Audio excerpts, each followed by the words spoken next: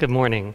I'm Russell Miller, one of the pastors here at First United Methodist Church in Boerne. It's my privilege to welcome you to worship today.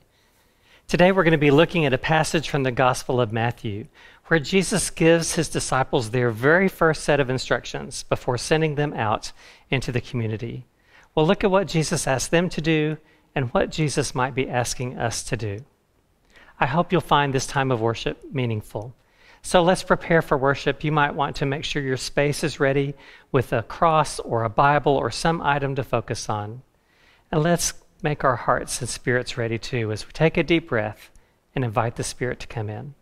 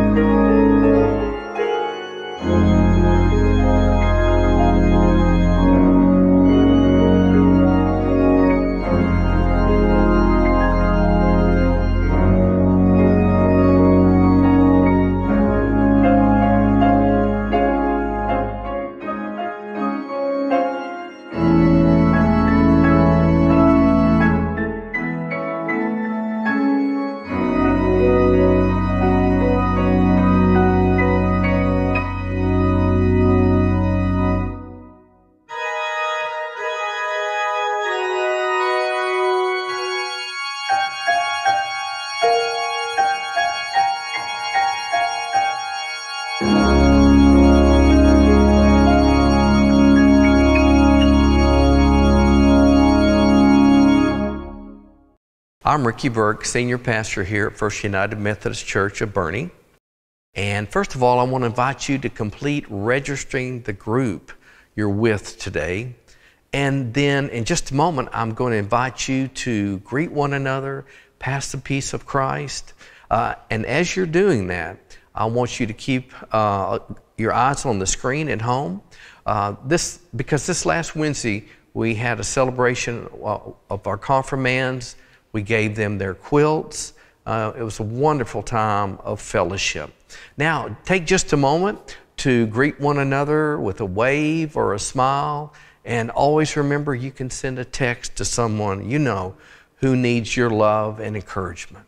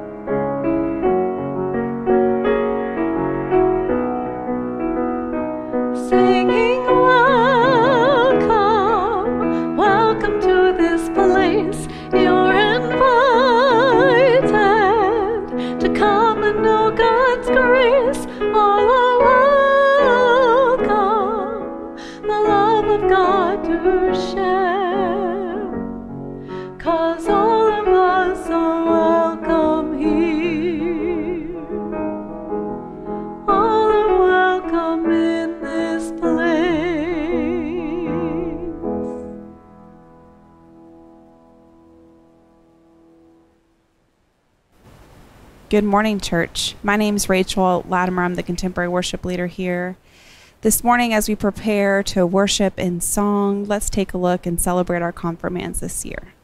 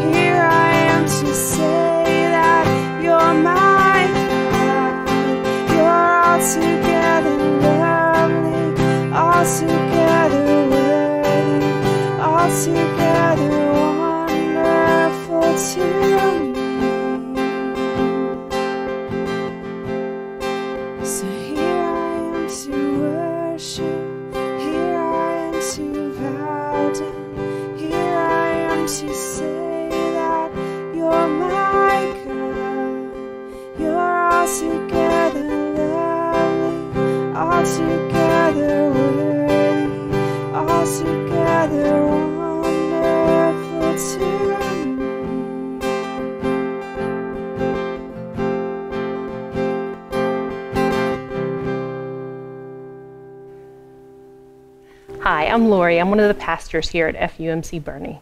And today, as we come together in prayer, I invite you to pay attention during the prayer as you're hearing these words and see if God isn't bringing someone to your mind that you can be in prayer for.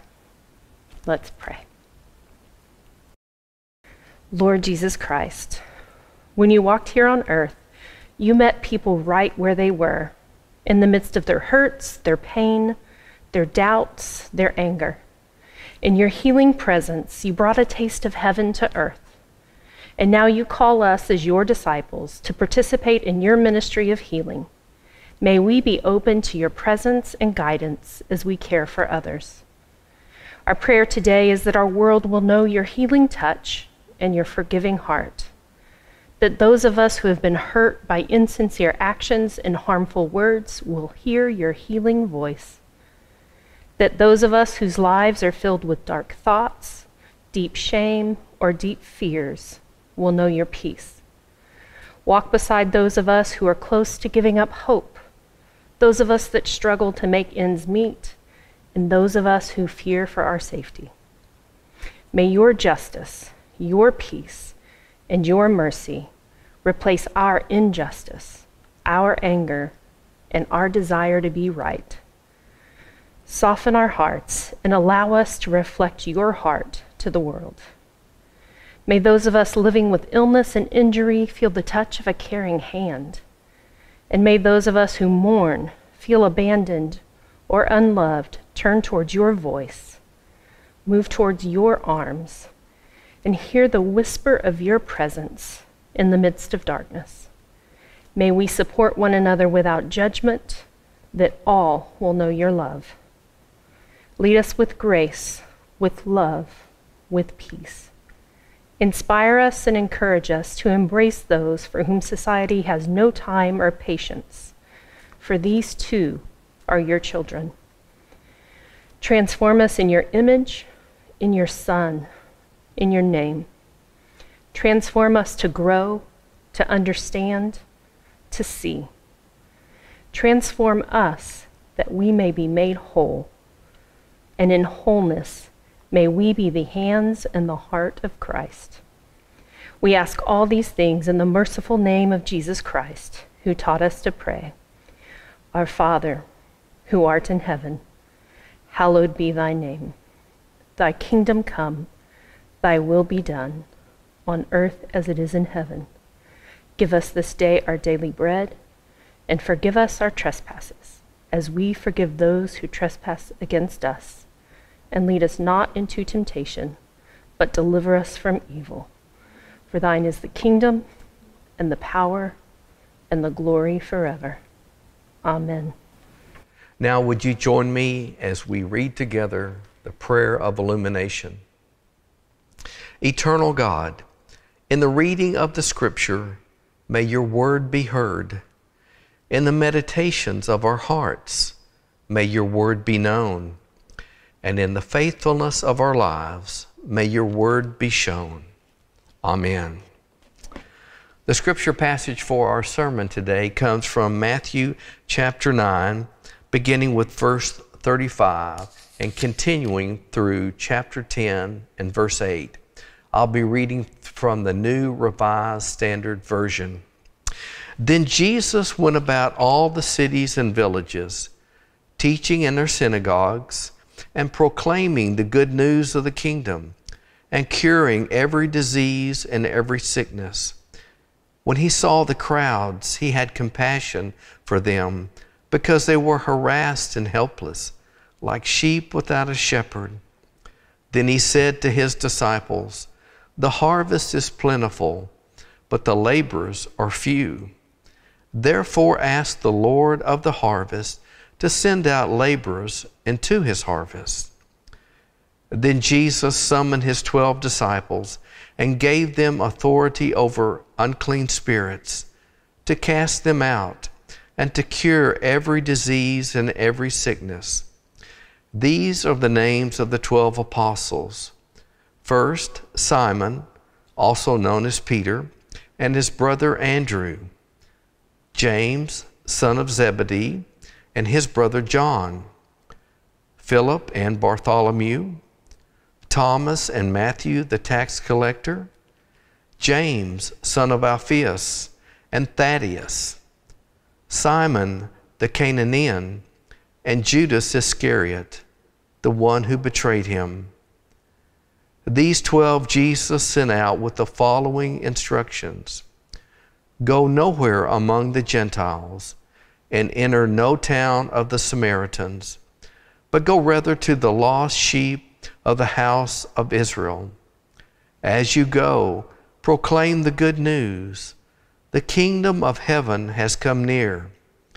Cure the sick, raise the dead, cleanse the lepers, cast out demons. You received without payment, give without payment. This is the word of the Lord. Thanks be to God. Hello there. It's time for a conversation again with our youngest disciples. So I invite you, kids, to grab your favorite toy, a friend, your little sister, whatever you want, and meet me right back here.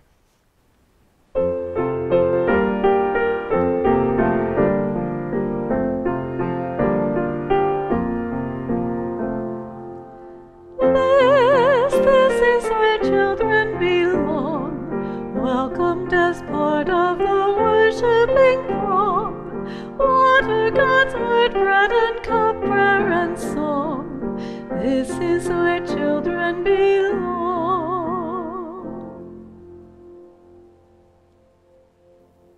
Hi there, and welcome. Last week I read a book to you, this book called God's Dream. It was a book that reminded us about how God's dream is for everybody on the planet to share with one another, to care for one another, and to help bring about God's dream of a, of a beautiful place. I've been thinking a lot about how I might help God's dream come true, and this week I want to ask you if you can do that too. I heard a story this week about a girl named Chelsea. She's 10 years old and she lives in Connecticut. And Chelsea loves art. She likes to draw and paint and create. She uses it to help her feel better whenever she's feeling sad. But she also likes to use it to help her express her happy times, too. So when Chelsea had her 10th birthday, instead of asking for people to bring her a gift, she asked people to bring art supplies that then could be sent to other children who don't have access to art supplies. Well, her friends did so, and so have lots of other people. And I understand that by now, Chelsea has sent over 2,000 kits of art supplies to kids all across our country to give them something to do to help them feel better. I think Chelsea is doing her part to help make God's dream come true. It sounds like a pretty big deal that she's doing. I think it really is. And we can't all do everything on such a grand scale like Chelsea's doing, but all of us can do something. And so, what I want you to do this week is to think about what you could do to help bring a little joy, a little happiness to the world around you. Maybe it's drawing pictures that could then be sent to the nursing homes, where some of those residents haven't been able to have visitors for quite a while. Or you could do something kind for your next door neighbor. There are about a million different things you could think of to do. And once you figure out what it is, I would love for you to email me, text me, put it on Facebook some way so that I know what kinds of things you're doing to make this world a better place and I can share your ideas with others. Will you do that for me? I hope so. Let's pray. Dear God, thank you for loving us. Help us love you and love each other. Show us ways to help this world be more like your very best dream. In Jesus' name we pray. Amen. I want to make you aware of something really important that happened in the life of our church this week. On a normal year, your clergy and some of your lay delegates would be in Corpus Christi right about now. We would be having our annual gathering that we call annual conference. But due to the coronavirus, that has gotten postponed and canceled for the most part. However, this week, over 300 clergy in our conference gathered together via Zoom to take care of some important business. And one of the things that we did was to overwhelmingly approve Pastor Lori Bolensiefen to be a deacon in full connection with the Rio, Texas Conference of the United Methodist Church and to be ordained. She was overwhelmingly approved for that. a normal year would mean that the ordination service would happen within just a couple of days. But again, that has been postponed because of the virus. But the stole that you see on the altar today is Lori's stole um, that she will be able to wear as a, as a fully ordained person in our community. And I just want you to celebrate that with her. So let's start today with a bit of irony. Today begins a new season of the church year. In the liturgical calendar, we call this time of year ordinary time. We've gone from the reds of Pentecost and the whites of Trinity Sunday to the greens of ordinary time, as you see on our altar today. The green color represents growth and change. Ordinary time actually happens twice every calendar year, but this is the biggest chunk of it, and this section is going to take us all the way until the beginning of Advent. The irony is, is that these times seem anything but ordinary, don't they? Now, to be fair, the word ordinary in this context doesn't actually mean usual or routine. It actually refers to the number of Sundays in between now and the time the next season begins, and we count them using ordinal numbers. The first Sunday of ordinary time, the second Sunday, and so forth. But the purpose of this time is to support individual disciples and whole congregations of disciples as they live out the gifts and the callings that they might have discerned during the season of Easter and that were commissioned on Pentecost and on Trinity Sunday. So last week, Ricky preached about the Great Commission. That was the final set of instructions that Jesus gave to his disciples before he ascended into heaven. So let's take a review quiz, shall we? I hope you were paying attention. There were three primary things that Jesus told the disciples to do as part of the Great Commission. Do you remember what they were? Make disciples, baptize, and teach. And they were instructed to go out to all nations, go into the whole world to do those three things. We might imagine that as Christ's disciples, that is our calling to do as well. And frankly, it's pretty daunting if you think about it. Interestingly, today's text, assigned to us intentionally by the lectionary readings, that cycle of readings that we use, takes us back. Back from Jesus' last set of instructions to his disciples to Jesus' first set of instructions. To do this, we're going to go backwards in the Gospel of Matthew, nearly 20 chapters from the Great Commission. Now, during those 20 or so chapters, the disciples have been following Jesus around, hearing his teachings, watching, and even participating in some miraculous events and healings. And they've witnessed Jesus' death his, and his resurrection. It's also important for us to know what happened in the nine chapters before today's text.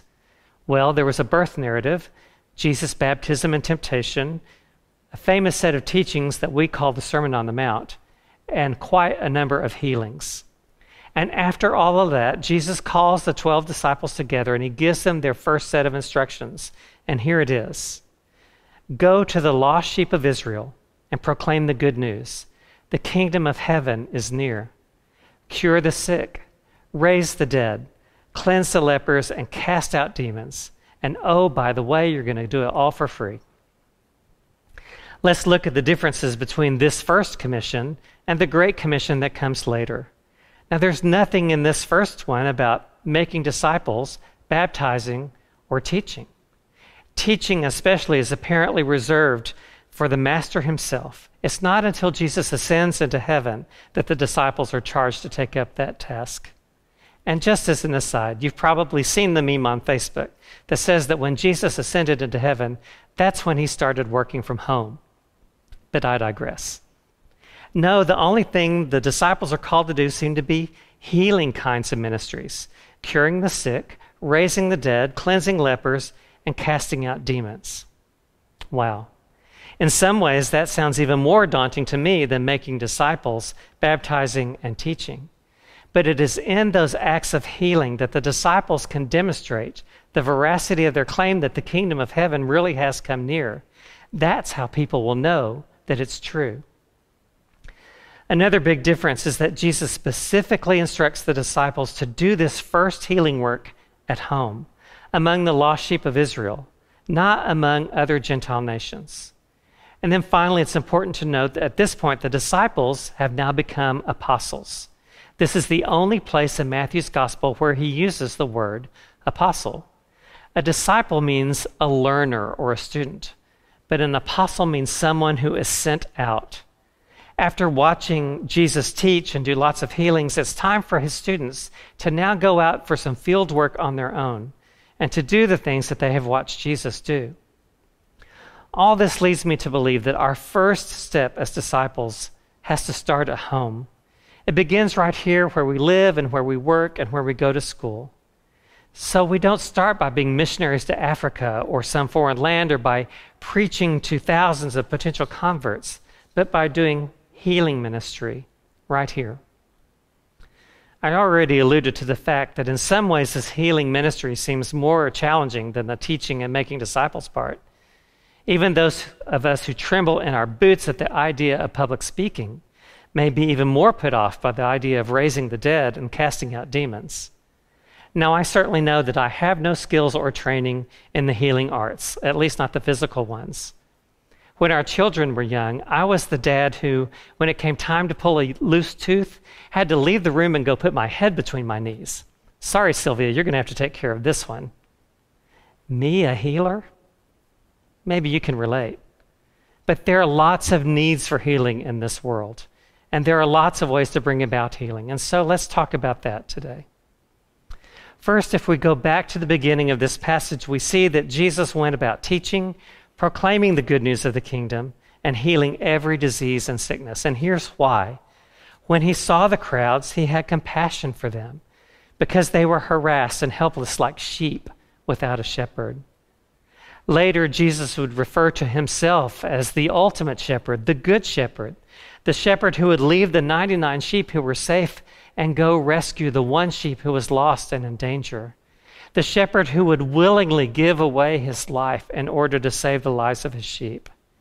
And all of this stems from this deep sense of compassion. And that word compassion has its roots in the word that means guts, even bowels. Jesus' compassion came from the very depths of his being. It's a strong emotion, not just a nice feeling. Have you ever felt that kind of deep compassion for another person or for any other part of creation that was in pain or in danger? I'm going to claim it was compassion, certainly not fear, that sent me out of the room at tooth pulling time. I don't know if I can make Sylvie believe that, but it's going to be my story. I'll stick to it. But I am realizing that I have had some of that same depth of anguish just listening to the news lately. Have you? Is there any doubt that there are still people who are harassed and helpless, like sheep without a shepherd? Our world is calling upon us to find compassion that comes from our guts, from the very depths of our being. Compassion for people who are sick and dying of a virus. Compassion for people who are suffering inhumane treatment and even death just because of the color of their skin compassion for families who grieve the loss of those they love because of either of those other causes. Might these be some of the demons that we are called to be helping cast out?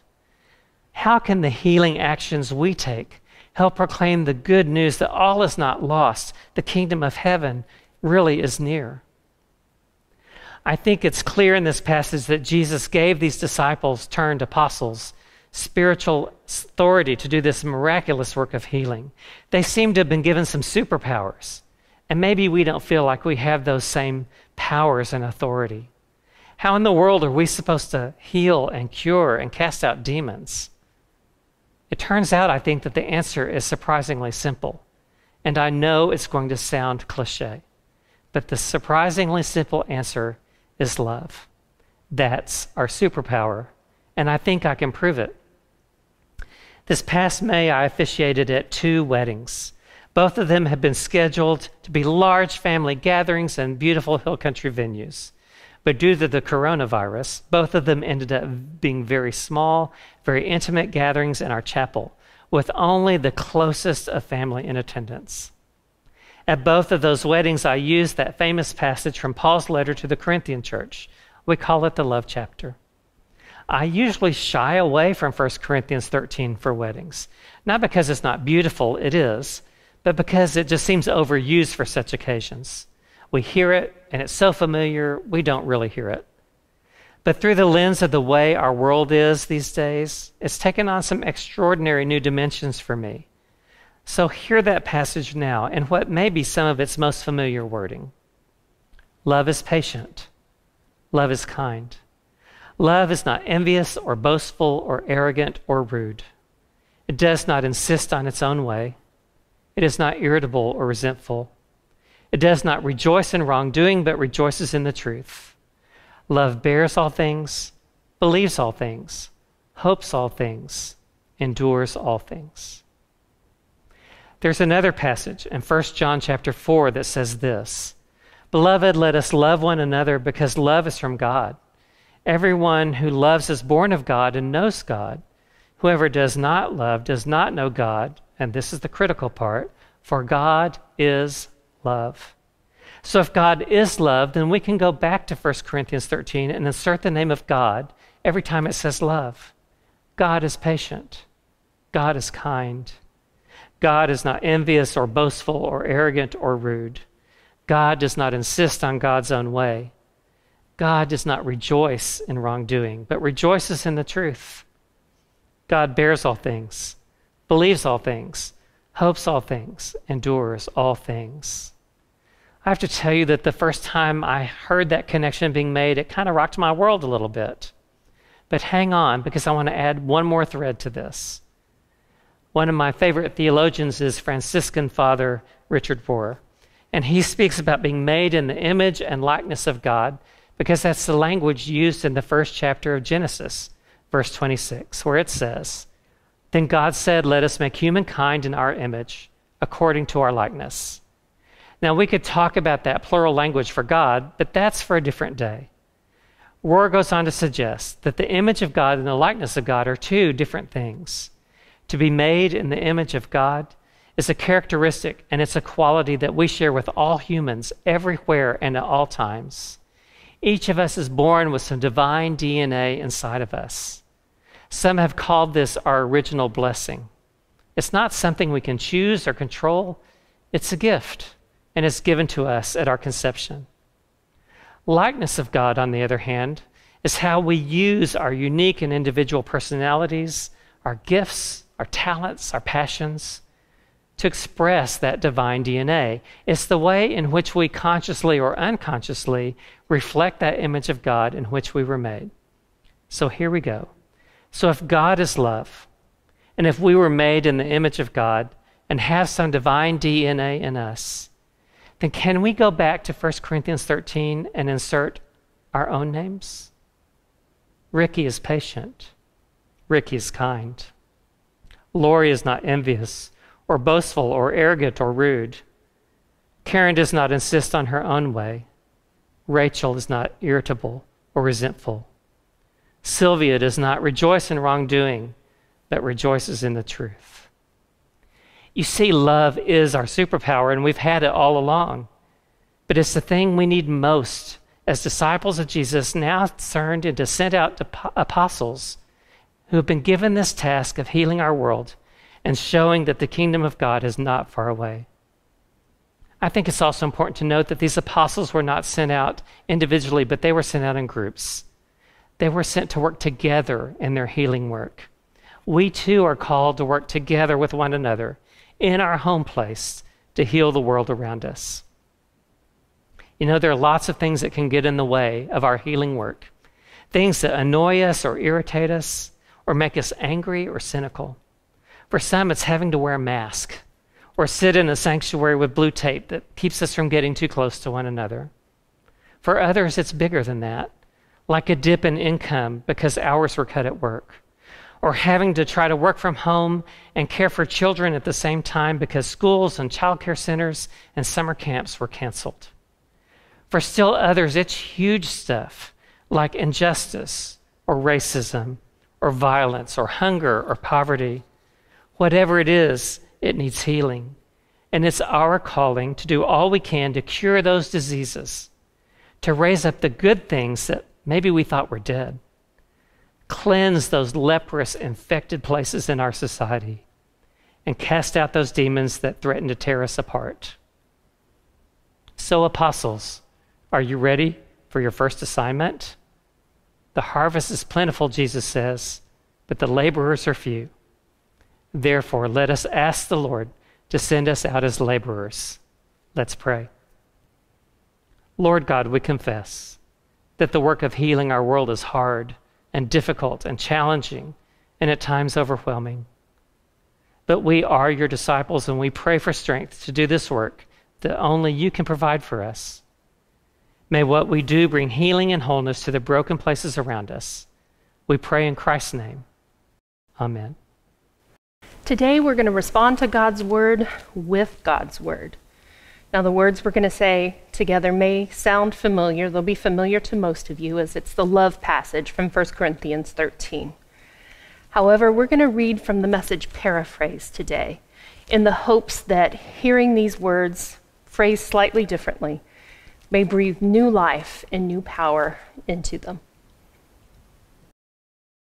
Please join me. Love never gives up.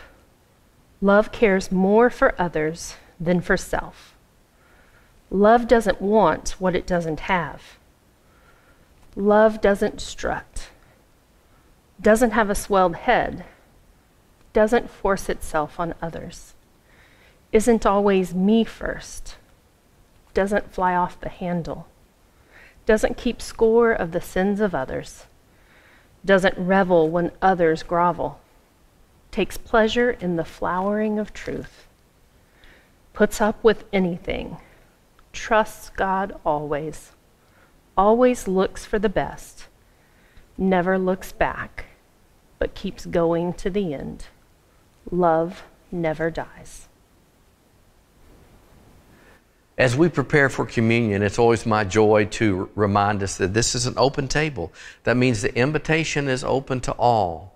So if you're watching this and you're not a member of a United Methodist Church, I still want you to feel comfortable to partake of this bread and juice that you have available, whatever you have, just feel comfortable to partake of. When Christ shared this last meal with his disciples, during the course of the meal, he took bread and he blessed it and he broke it. And showing it to his disciples, he said, This is my body, which is broken for you. Take and eat in remembrance of me. As he came to the end of the meal, he took the cup and pouring it, he said, This is the cup of the new covenant, poured out for you and for many for the forgiveness of sins. Take and drink, and as you do, remember me. May we pray. Loving God, we ask that you pour out your Spirit on us gathered here and on these gifts of bread and cup. Make them be for us the body and the blood of the Lord Jesus Christ, that we may be for him the body of Christ, redeemed by his blood. Now, let me invite you to partake with us.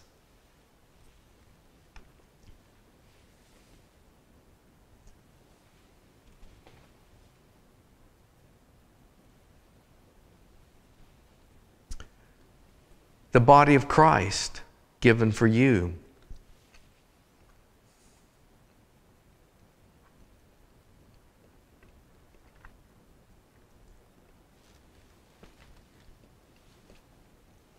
And the blood of Christ poured out for you.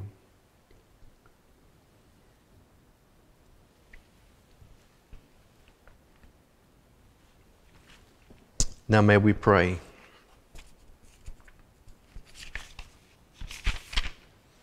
Eternal God, we give you thanks for this holy mystery in which you have given yourself to us. Grant that we may go into the world in the strength of your Spirit to give ourselves for others. In the name of Jesus Christ our Lord. Amen. As we come to the end of the service, we always want to give you an opportunity to respond to what God has placed upon your heart. Uh, one opportunity that's just around the corner will be our children's VBX.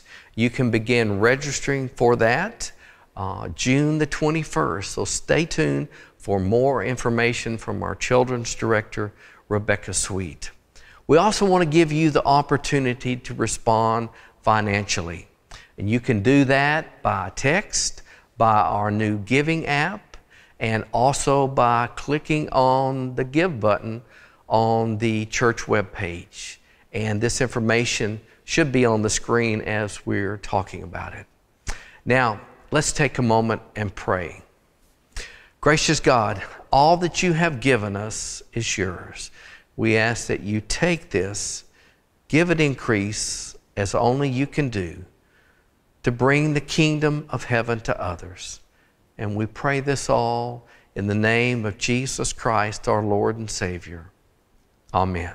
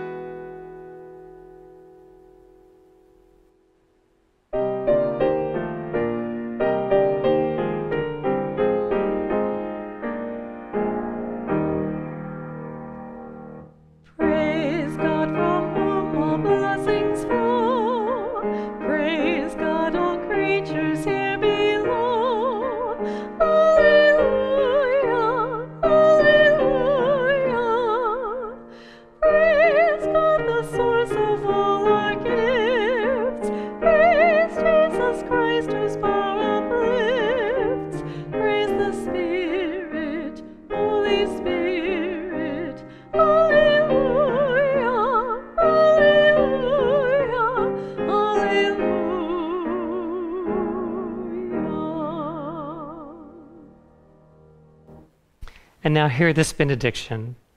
Will you go from wherever you are, armed with your superpower of love and strengthened by the power of the Holy Spirit to heal the broken places around you? Go in peace. Amen.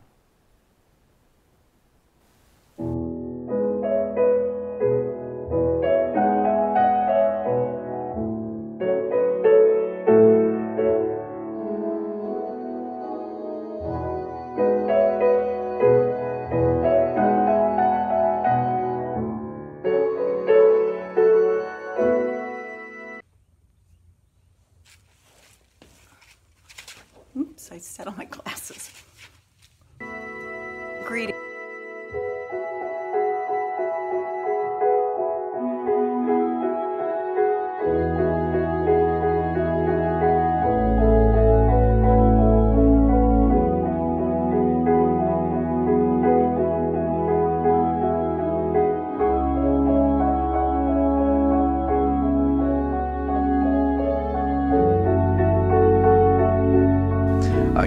Begin registering for that online.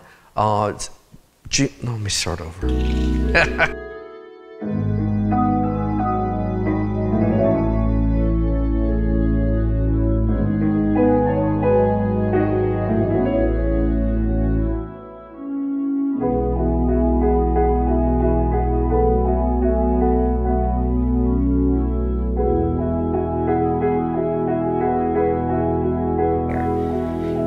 And just notice who God might be calling to mind that you could be in pray for, in prayer for. Okay, can we try that again?